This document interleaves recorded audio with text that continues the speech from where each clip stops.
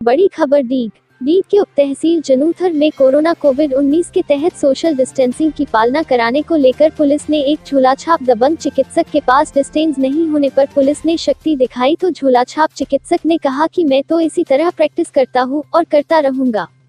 लाचार और पुलिस बेवश नज़र आ रही है। खुलेआम उल्लंघन करने वाले दबंग झोला छाप चिकित्सक के खिलाफ उपखंडाधिकारी सहित मेडिकल विभाग के बीसीएमएचओ हिमांशु पारासर डी भी डिग्री देखने का नहीं जुटा पा रहे साहस।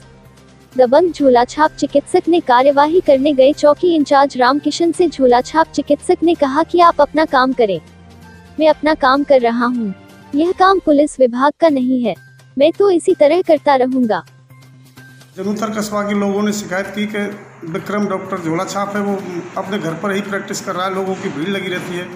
बीस पच्चीस तीस आदमी लोगों की भीड़ होती है वहाँ पर। वहाँ पर मैंने भी जाकर देखा तो मेरे से कहा मेरे पास तो लाइसेंस है मैं तो ऐसे ही करूँगा।